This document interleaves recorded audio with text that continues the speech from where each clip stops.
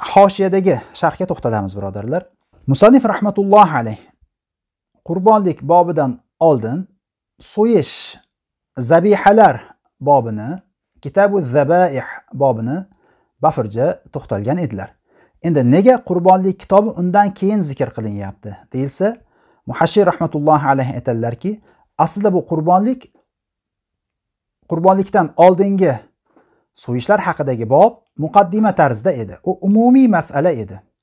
Endi bo'lsa umumiy masaladan keyin xususiy masalaga. Zikrul xos ba'dal am qoidasiga ko'ra bo'lmoqda deyishadi.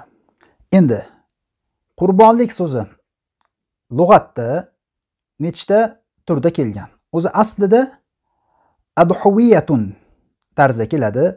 Vov bilan yo jamlangani uchun ulardan birini ikkinchisiga o'zgartirib vovni yoga o'zgartirilgan va birini ikkinchisini ichiga idg'om qilingan va yo o'zidan oldingi kelgan harfning kasra bo'lishini istaydi. Shu sababdan ha kas, haga kasra berilgan. Ko'pligi udaha udahi tarzda keladi. Yoda shadda bor ya'ni udahiyi yu.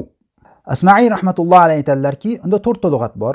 Udhiyatun adhiyatun tarzda.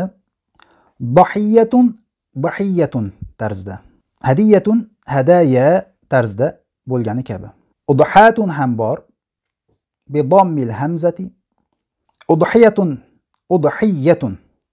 نقل في أضحية تشديد الياء وتخفيفها. مانا شو؟ باش تتبع برجان بوسانجس كتاب الأضحية وكتاب الأضحية. دب يون شد بلان هم قدي شد هم قدي شنجيت اللي يبتكي yo tashdid bilan ham zikr qilingan tashdidsiz ham zikr qilingan. Va fi bahiyatun fathu dod va kasriha.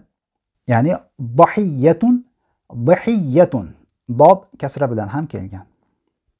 O'zi aslida muhashir rahmatullohi alayhi to'rtta deganlari bilan bu shaklda sakkiztaga chiqdi deyishadi.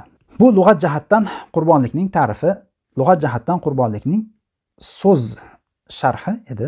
islohda bo'lsa, shariatda bo'lsa nimaga aytiladi?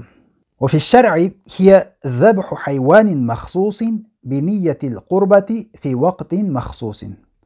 Qurbonlik deb shariatda maxsus bo'lgan hayvonni maxsus vaqtda qurbat, yaqinlik, ibodat niyati bilan so'yishiga aytiladi. Xo'p, maxsus vaqt nima?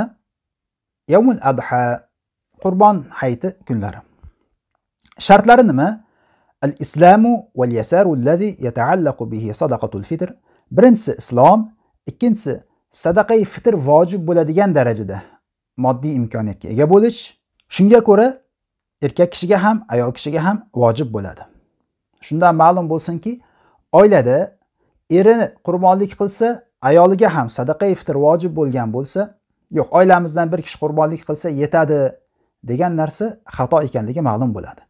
Necha kishi qurbonlik so'yishga qodir bo'lsa moddiy imkoni bo'lsa ularning barchasi qurbonlikni qilishi kerak bo'ladi. Agar oilada olti nafar bo'lsa olti nafarning hammasining moddiy imkoni bo'lsa unda olti kishiga qurbonlik qilish vojib bo'ladi. Va sababu hal vaqtu va hi ayyamun nahr.